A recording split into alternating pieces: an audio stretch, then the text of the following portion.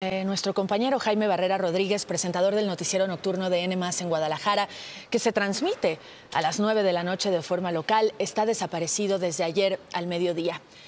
Jaime, usted lo está viendo en pantalla, es un periodismo y es un periodista ejemplar, con una amplia y respetada trayectoria en medios impresos, en radio, en televisión. Su familia compartió la información preliminar de su desaparición a través de las redes sociales, luego de que perdieran contacto con él, insisto, desde ayer al mediodía y de que no se presentara en el noticiario que conduce.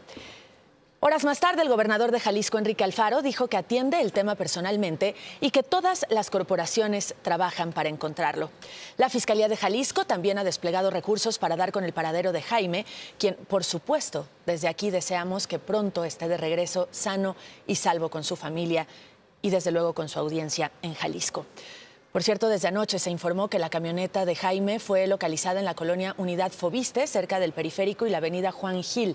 Esto es en Zapopan, en la zona metropolitana de Guadalajara. Estaba ahí frente a un centro comercial de nombre Terraza Belénes. Elementos de la Fiscalía del Estado la trasladaron a sus instalaciones para los peritajes correspondientes.